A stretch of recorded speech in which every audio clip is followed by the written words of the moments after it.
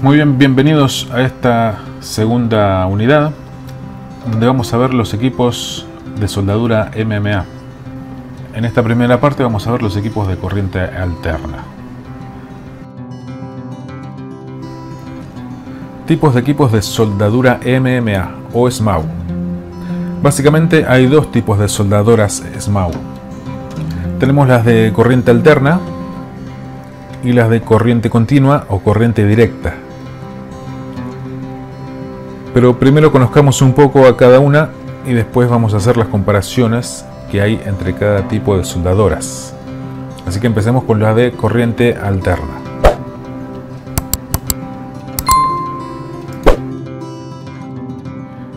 Equipos de corriente alterna. Estas son las características más comunes de los equipos de corriente alterna. La intensidad del arco eléctrico se obtiene a través de la regulación de uno o varios transformadores. Por ejemplo, hay algunas que tienen varios transformadores, que son más, grandes, más pesadas, y hay otras que son más, simples, que tienen un solo transformador. También podemos encontrar máquinas monofásicas, bifásicas, trifásicas, dependiendo de, la potencia que tengan y para qué las vamos a usar. Las monofásicas son las que podemos conectarlas a la red eléctrica normal de nuestro domicilio. Después en los talleres o fábricas es muy normal encontrar máquinas más grandes que requieren una alimentación eléctrica mayor y ya son esas sí son bifásicas o trifásicas. Después eh, son muy pesadas. Al usar transformadores son muy pesadas. Las más livianas que podemos encontrar en el mercado rondan entre los 15 kilos más o menos que son las más chicas y las más modernas pero las más grandes pueden pasar fácilmente los 100 kilos y, hasta más. Después, estas son, al ser una, una, máquina con tecnología más antigua, son más económicas. En relación a una de igual potencia de corriente continua, las de corriente alterna suelen ser más económicas. Y por último, al funcionar mayormente con componentes mecánicos y eléctricos suelen tener una mayor vida útil. Por eso es muy normal ver equipos de 30 o 40 años que todavía siguen funcionando. Por ejemplo, este es un ejemplo de lo que estábamos diciendo. Este, este es un equipo que fácilmente puede tener unos 25 años. Es un equipo antiguo de 170 amperes de amperaje seleccionable por tomas. Este es muy simple y fácil de usar. Es fácil de usar porque, porque acá tenemos la pinza de masa. Esta es la pinza de masa. Es el cable de la pinza de masa que va solamente enchufado ahí. Y después con la pinza porta electrodos, el cable de la pinza porta electrodos, lo vamos a ir enchufando en cualquiera de estos tomas que tiene. Cada toma va, me va a dar un amperaje diferente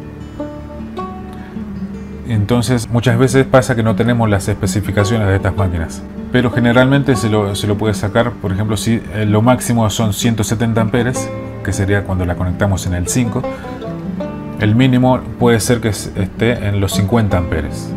Y casi siempre va de 30 amperes, se va, va saltando. Por ejemplo, acá tenemos 50, 80, 110, 140, 140 amperes y 170 amperes. Como ven, no es muy no es muy exacto. Si yo lo quiero poner un electrodo, quiero soldar a 90, 95 amperes, no voy a poder. Tengo para elegir solamente 80 o 110. No, no, no se puede eh, elegir la, el amperaje con precisión. Después acá tenemos un equipo más moderno este es un equipo más moderno ¿no? de amperaje seleccionable mecánicamente por núcleo desplazable, que al girar una perilla o manivela va subiendo o bajando la intensidad de la soldadura. Acá tenemos una perilla, es muy normal ver, ver estos equipos, son, se, pueden se pueden seguir comprando estos equipos. Entonces cuando movemos esta perilla, adentro tiene un, un núcleo en el transformador que se va a desplazar entonces si se desplaza para un lado, va a dar más potencia, va, a dar un arco eléctrico más intenso. Y si lo movemos para el otro lado, va a bajar esa intensidad. Entonces acá un visor similar al de una radio antigua que está acá arriba, generalmente está arriba de, la máquina. En este caso acá, acá está la foto. Que se encuentra generalmente en la parte superior del equipo nos permite saber el amperaje seleccionado y el diámetro recomendado del electrodo que debemos utilizar. Acá nos va a decir, si pueden ver, acá arriba nos dice que esta máquina, por ejemplo, el amperaje máximo es de 200 amperes.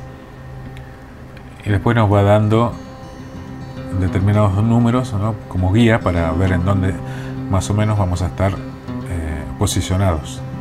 Y acá abajo nos, nos da el, el diámetro del electrodo recomendado para usar según el amperaje que estemos usando.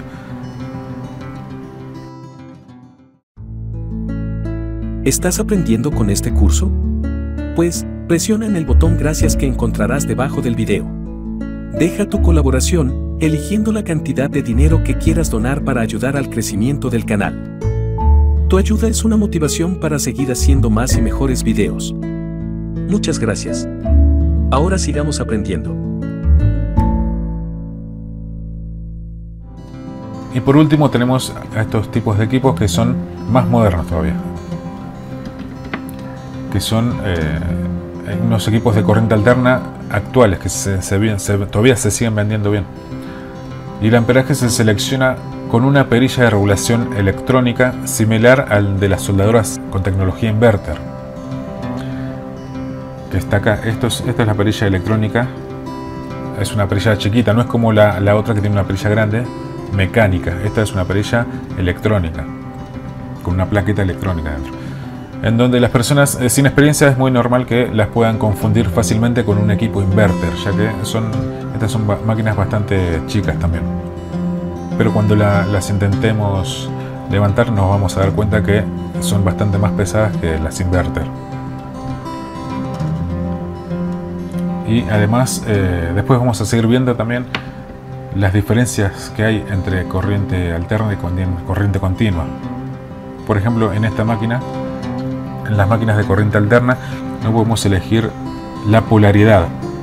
Es decir, los cables van a, van a venir enchufados fijos y no los vamos a poder cambiar.